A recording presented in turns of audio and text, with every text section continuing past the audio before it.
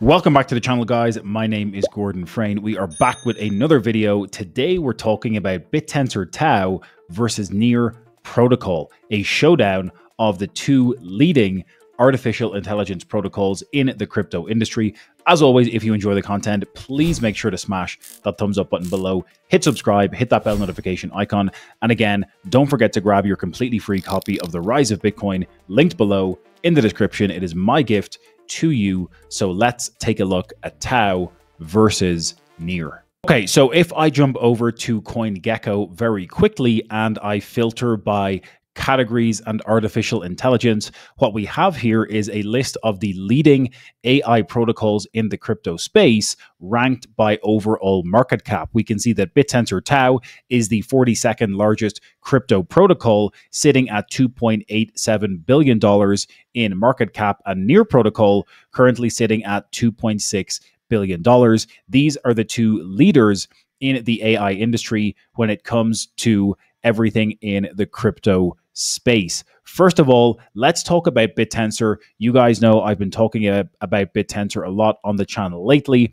I have become enamored with this entire ecosystem, all of the subnets, all of the innovation happening, and we can currently see that BitTensor is sitting at a price of $321 per token. If I jump over to the BitTensor website, I will forgive you for thinking little of BitTensor based on the website because agreeably, it is not a, an amazing website when it comes to explaining what BitTensor and the TAO ecosystem actually does. You do have to kind of jump into the white paper and the detail white paper in order to get a better technical understanding. But for all intents and purposes, BitTensor is a network of networks, and those individual networks or subnets in the BitTensor ecosystem are their own individual businesses, essentially competing to earn and provide valuable information to the BitTensor network and receive TAO as rewards as a result of doing that. So you can jump in and look at the technicals in terms of BitTensor being a peer to peer intelligence market. It has borrowed a lot from the frameworks and the tokenomic structure of Bitcoin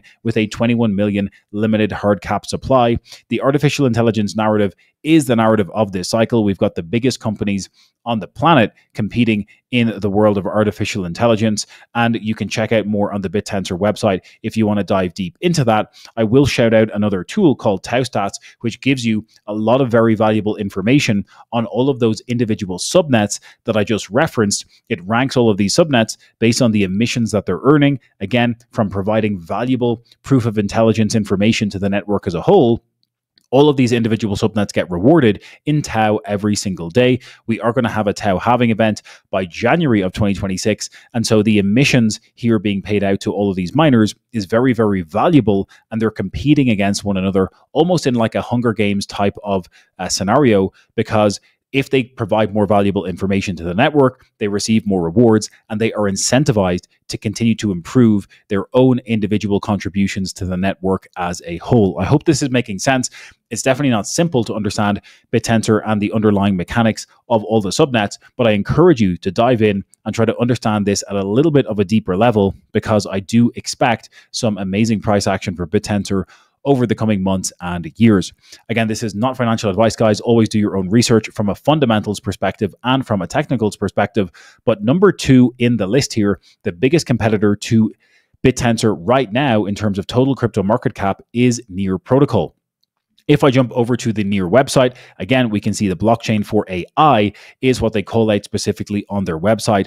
I will admit, from doing my own research and looking at the initial Near white paper, there is zero mention of artificial intelligence in the white paper for Near Protocol. I know a lot of you are going to come in the comments and tell me that the founders were kind of OGs in the AI space. And yes, I don't deny that. But when they wrote the Near Protocol white paper, it was more focused on a layer uh, one protocol for decentralized applications in general without any mention of artificial intelligence. Again, what I've seen in the recent couple of years is a pivot in the near protocol stance to hone in more on that vision for artificial intelligence to try and become that layer one go to solution for artificial intelligence and decentralized applications in tandem. But go and read the white paper. The words artificial intelligence or AI are not mentioned one time in the Near Protocol white paper. So, again, more of a pivot, and you could argue maybe a bit of a marketing stance to get more attention for the Near Protocol when it comes to this AI narrative that is clearly the largest narrative of the cycle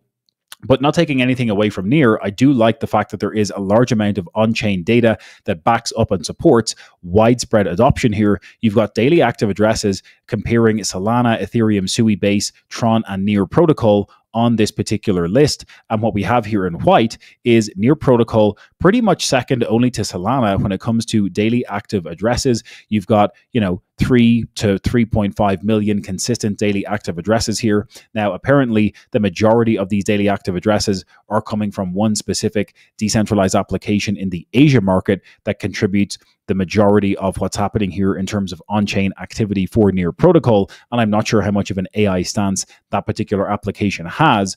But all intents and purposes, you've got Near Protocol being a real competitor here in terms of daily active addresses and on chain adoption in a very consistent way for the past three months and even beyond that. Okay. So, not taking anything away from Near, I just think BitTensor is a little bit better when it comes to artificial intelligence fundamentals. And if I jump over to the charts again, what I want to do here is I want to map the price action of BitTensor against Near Protocol. If I click into this particular chart, I come into Trading View, we're going to map BitTensor TAO against Near Protocol. Let's use the Binance Exchange data here. And if we price TAO in terms of Near, TAO is the base asset on this chart. Near is the quote asset. What you're basically seeing in terms of a trend here is TAO significantly performing Near Protocol over the past couple of years based on the price action on this chart. So again, I'm trying to look at the data. I'm honing in on, you know, the use cases for each of these protocols.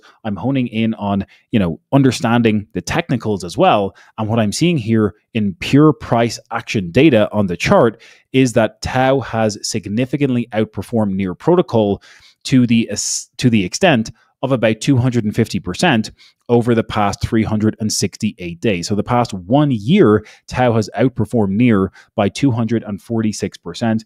Again, that is my personal opinion that BitTensor has more potential than Near Protocol as a leading AI competitor to centralized, permissioned AI like the likes of OpenAI, Claude, Gemini, etc.